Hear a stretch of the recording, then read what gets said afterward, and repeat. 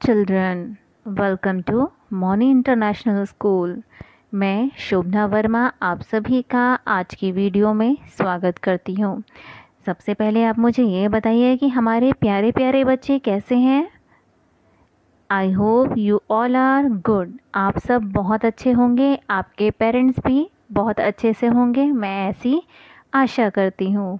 तो चलिए आज हम आज का वीडियो स्टार्ट करते हैं। हमने आपको पह, इससे पहले वीडियो में एक चैप्टर पढ़ाया था जिसका नाम था करनी का फल। ये हिंदी में पार्ट चार करनी का फल।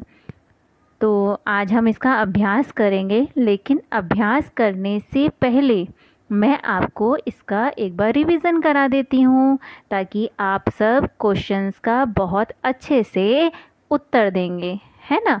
तो आपको बहुत अच्छे से इसका उत्तर भी आ जाएगा और हमें एक बार इस अध्याय का रिवीजन भी हो जाएगा। तो चलिए, आज हम, आज का इसका रिवीजन स्टार्ट करते हैं।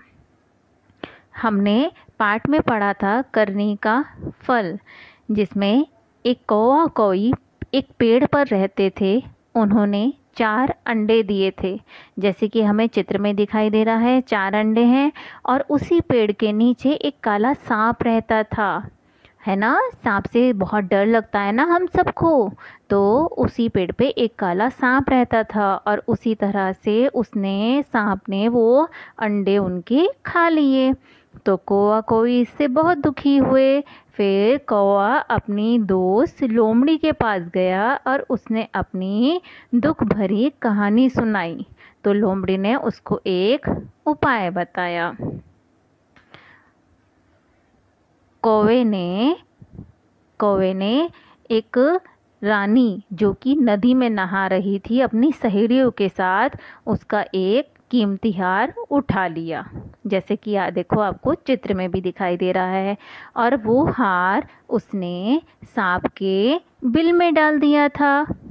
तो जैसे ही रानी ने ढूंढा अपना हार तो उसको कहीं मिला नहीं। उसने अपने सिपाहियों से कहा, देखे, चित्र में रानी अपने सिपाहियों से कह रही है कि मेरा हार किसी भी तरह से ढूंढ के लाओ।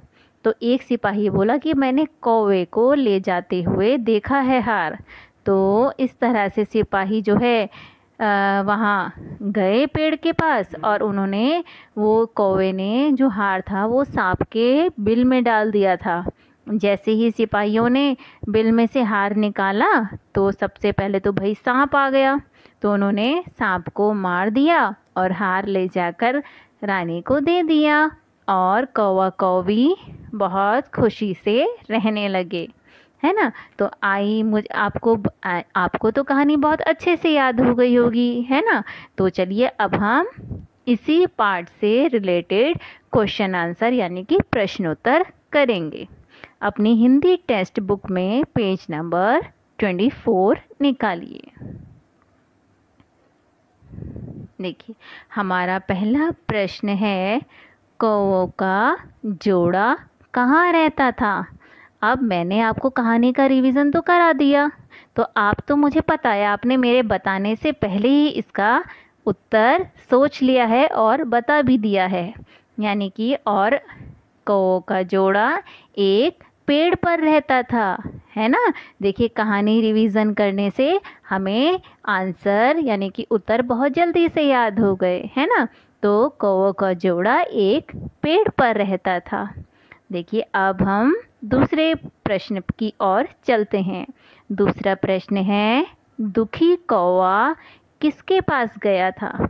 अच्छा आप आप बताइए मुझे अपने सोच के कि दुखी कौवा किसके पास गया था? बताइए, कोयल के पास गया था क्या? नहीं, है ना? सब बच्चों ने से हिला दिया कि, नहीं मैम, ये तो अपने मित्र लोमड़ी के पास गया था, क्योंकि आपको तो बहुत अच्छे से ये पाठ आ गया। तो दुखी कौवा अपने दोस्त लोमड़ी के पास गया था। अब हम तीसरे प्रश्न की ओर चलते हैं। देखिए, तीसरा प्रश्न है कौए ने रानी का हार कहाँ डाल दिया था? तो ये भी आपको पता ही है। और आप मेरे से पहले पहले बोल रहे हैं, है ना? क्यों? क्योंकि आपको तो सब आता है। तो देखिए कौए ने रानी का हार कहाँ डाल दिया था? कौए ने रानी का हार सांप के बिल में डाल दिया था, है ना? सांप के बिल में डाल दिया था ना? वेरी गुड अब बहुत अच्छे बच्चे हैं।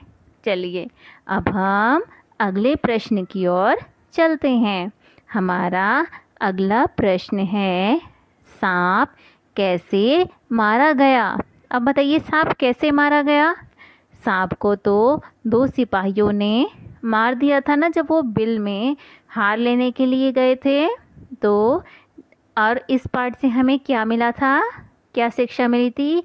कि सांप कौवे की बुद्धि के बल से मारा गया। देखिए, कौवे ने सोच समझ के, यानी कि अपने बुद्धि से विचार किया कि इस सांप को मैं कैसे सबक सिखाऊं तो सांप जो है कौवे की बुद्धि के बल से मारा गया।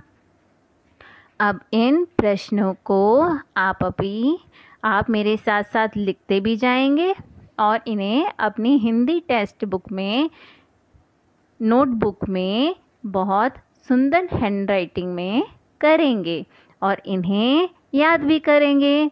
वैसे आपको ये सब याद भी हो गया होगा, है ना? तो आप ये सब अपनी हिंदी नोटबुक में सुंदर हैंड